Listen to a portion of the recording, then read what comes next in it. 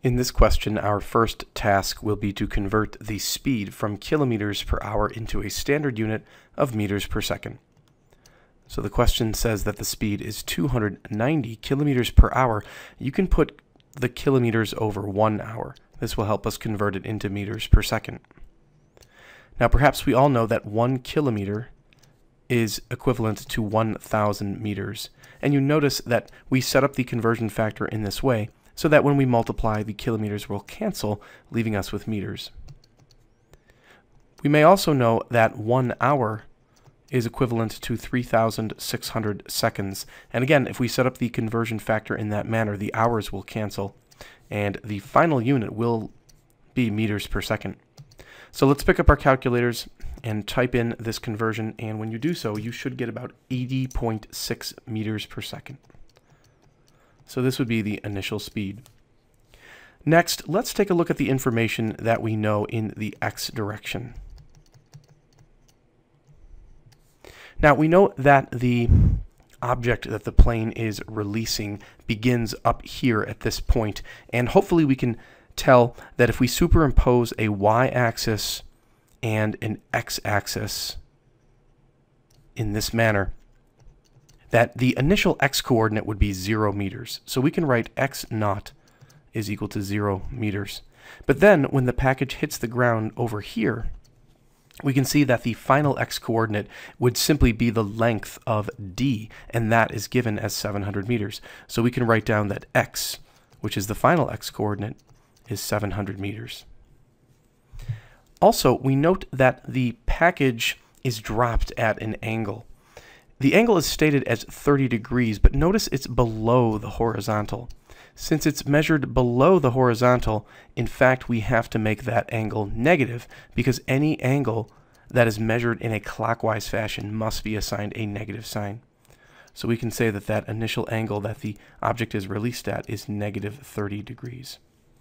Now, that actually is enough information using this equation from projectile motion to calculate the time so we can come down here and rewrite that equation.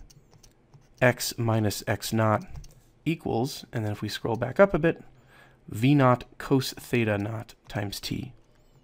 v naught cosine theta naught times t.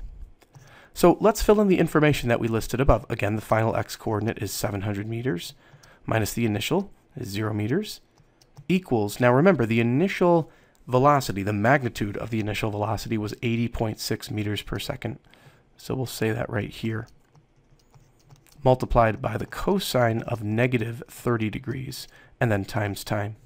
Now the left side obviously becomes 700 meters. You would pick up your calculator and type in 80.6 times the cosine of negative 30 degrees, and you end up with about 69.76 meters per second, and that quantity is multiplied by the time. So now we can actually solve for the amount of time the package is in the air by dividing both sides by the 69.76 meters per second so that it cancels out on the right hand side. The left hand side becomes 10.0 seconds approximately. So the package is in the air for 10 seconds, and this is the correct answer to part A. Now, we'll move back up and see what was going on in part B. The question wanted to know how high was the release point. So looking back at the diagram, we can see that the package was dropped from a certain height, and that would actually be the initial y coordinate. So we're going to write down y naught equals question mark, because that initial y coordinate is what we're looking for. It's basically the height of the release point. Now when the package strikes the ground over here, that would mean that the final y coordinate is simply 0 meters. So we know that much information. Again, we know the initial speed as well as the angle. We also know that in the vertical or y direction, that the acceleration of the object would be equal to the magnitude of gravity. So we're going to say that the acceleration is equal to g, which you recall is 9.8 meters per second squared. Now, technically, the acceleration is negative because gravity is pulling down, but there is a negative sign built into the formula for projectile motion. So we're just going to be ending up plugging in 9.8 because the negative sign is already included in the formula. And indeed, it is this second formula that we will be using. And so we have the final y-coordinate minus the initial y-coordinate equals the initial speed times the sine of the angle multiplied by time minus 1 half g times squared. Now again, the final y-coordinate is 0. The initial, we don't know.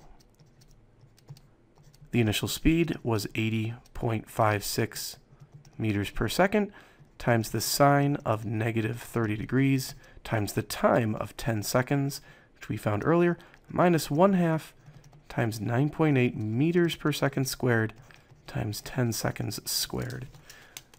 Go ahead and type in the entire right-hand side of the equation into your calculator carefully.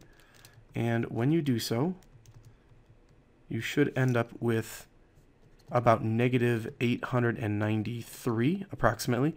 This will come out in meters because the seconds here and the seconds there would cancel and then the seconds squared and the seconds squared there will cancel.